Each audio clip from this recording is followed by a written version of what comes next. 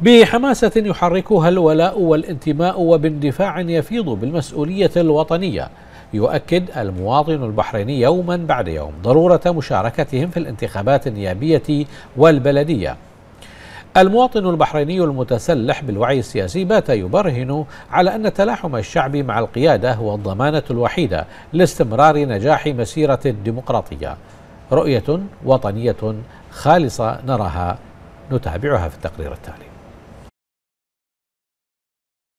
تشهد المملكة حاليا حراكا انتخابيا ملحوظا على جميع المستويات وذلك استعدادا للاستحقاق الديمقراطي القادم والمتمثل في الانتخابات النيابية والبلدية المقررة في الرابع والعشرين من نوفمبر الجاري والتي تشهدها البلاد للمرة الخامسة منذ انطلاق المشروع الإصلاحي الذي أرسى دعائمه وأسسه المتينة صاحب الجلالة الملك حمد بن عيسى الخليفة عاهل البلاد المفدى.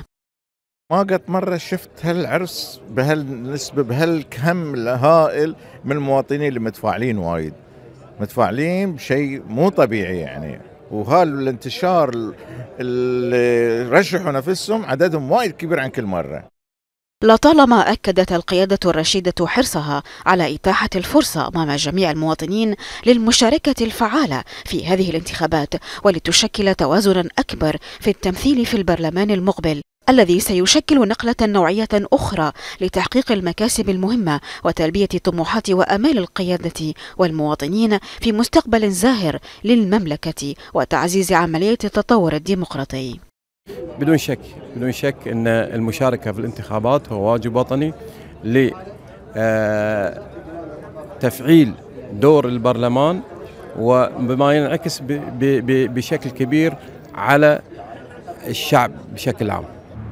وهذه يعني شيء جميل جدا بالعكس هذه مفخرة للشعب البحريني وفائدة للشعب البحريني وعلى كل فرد بحريني إنه يشارك فيه على أساس يوصل صوته.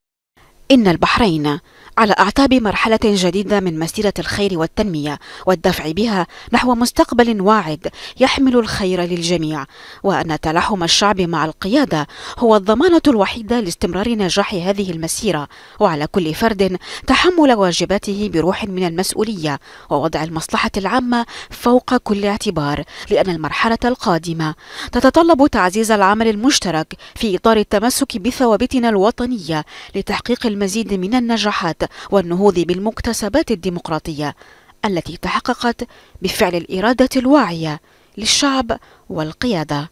سيرين عصفور مركز الأخبار تلفزيون البحرين.